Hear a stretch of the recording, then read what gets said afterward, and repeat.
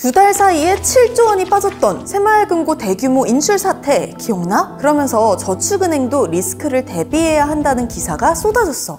근데 생각해보면 은행 종류가 좀 많은 것 같지 않아? 이참에 금융기관 뭐가 다른지 좀 알아볼까? 우리나라 금융기관은 크게 6개로 구분돼 은행, 비은행, 예금취급기관, 금융투자업자, 보험회사, 기타 금융기관 마지막으로 공적금융기관까지 여기서 1번 은행만 제1금융권이고 2번부터 5번까지는 제2금융권 이라고 해 근데 제1금융권 은행도 같은 은행이 아니야 시중은행, 지방은행, 특수은행으로 나뉘는데 우리가 잘 아는 KB, 우리 신한 하나은행은 시중 시중은행, SC제일은행, 시티은행은 외국계 시중은행이야. 그리고 인터넷 전문은행인 카카오뱅크, K뱅크, 토스뱅크도 시중은행에 속해. 잠깐, 그럼 농협은 뭐야? 라고 생각했지? 얘는 산업은행, 중소기업은행 같은 특수은행이야. 또 특정 지역에만 있는 은행도 있어. 이런 은행은 지방은행이라고 하는데 현재는 부산, 대구, 광주, 경남, 전 북, 제주 이렇게 총 6개. 시중은행과의 차이점은 지방은행은 영업구역이 본점 소재지라 다른 지역에는 지점을 낼 수 없어. 예를 들면 대구은행이 강원도 원주에 지점을 낼 수는 없단 얘기야. 이해됐어? 그럼 이제 제2금융권 들어간다. 먼저 비은행 예금 취급 기간 1금융은 아니지만 예금을 취급한다는 의미인데 여기에 새마을금고가 속해. 새마을금고는 사실 태생부터가 독특한데 1963년 경남 산청군 하둔리를 비롯한 다섯 개의 리에서 시작. 옛날에 개, 향약, 두레 뭐 이런 것처럼 같이 돈 모아서 투자하고 운용해서 이익을 분배하는 형태였거든. 이렇다 보니까 시중은행과는 다르게 각각 독립적 독립적으로 운영된 거야. 간판은 똑같이 새마을금고지만 그 뒤 지역명에 따라 상품도 금리도 다 달라. 근데 이 새마을금고가 60년 동안 쌓은 스펙이 무려 자산 284조, 예적금 260조, 고객은 2260만 명, 저축은행 자산이 135조인데 두 배가 넘을 정도의 슈퍼파워를 지니게 된 거지. 다음은 저축 은행. 법상 공식 명칭은 상호저축은행이야. 1972년에 상호신용금고법이 만들어지면서 사금융, 쉽게 말해 거대 사채 시장을 상호신용금고라는 이름으로 제도권 안으로 들어오게 한 거야. 은행이 다 같은 은행이 아니라는 거 이제 좀 알겠어? 근데 차이점이 또 있어. 첫 번째, 금거법이 다르다. 시중은행, 지방은행은 은행법, 새마을금고는 새마을금고법, 저축은행은 상호저축은행법에 따라서 규제를 받아. 두 번째, 감독기관이 다르다. 새마을금고를 제외한 다른 은행은 금융감독원에서, 새마을금고는 행정안전부가 감독해. 이렇다 보니 일각에서는 이번 사태를 새마을금고 연체율이 계속 올랐는데도 감독기관이 금융 금융 전문기관이 아닌 행정안전부다 보니 감독을 소홀히 해서 그런 거 아니야? 라는 시선도 있어. 이번에 난리가 났던 새마을금고 예금 인출 사태의 원인은 한마디로 대출이 부실화되면서 불안해진 예금자들이 돈을 찾아가기 시작한 게 가장 큰 원인이야. 그게 올해 6월에 남양주시에 있는 모 새마을금고가 600억 부실 대출 문제가 터지면서 다른 새마을금고로 흡수합병 된 적이 있었거든? 이런 일이 있었으니까 불안하잖아. 아니 다른 새마을금고도 부실한 거 아닌가? 하는 생각에 이곳저곳 예금 인출 사태가 일어난 거지. 왜? 요 몇 년간 부동산 경기가 좋았잖아. 그때 새마을금고가 부동산 관련 대출을 막 늘렸는데 지금 어때? 고금리에 부동산 경기 하락하고 돈을 빌렸던 부동산 회사도 돈을 못 갚네? 지금도 새마을금고는 단위별로 운영되는데 일부 새마을금고에서 재정 능력 대비 과한 대출을 일으키면서 이런 문제가 생긴 거지. 그래도 정부에서 신속하게 대응한 덕에 대규모 예금 인출 사태는 일단 막은 상태야. 근데 어차피 다 맡긴 돈 찾는 거 건데 왜 난리야?